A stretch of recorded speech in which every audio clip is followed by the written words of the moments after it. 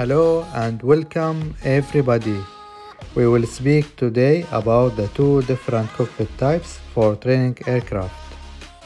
As we can see, the first type is the glass cockpit. A glass cockpit is an aircraft cockpit that features electronic flight instruments which is digital rather than separated instruments. And the second type, it's analog cockpit. In the analog cockpit, there are six main different types of flight instruments. Number one, airspeed indicator. Number two, attitude indicator. Number three, altimeter. Number four, turn coordinator. Number five, heading indicator. And finally, number six, vertical speed indicator.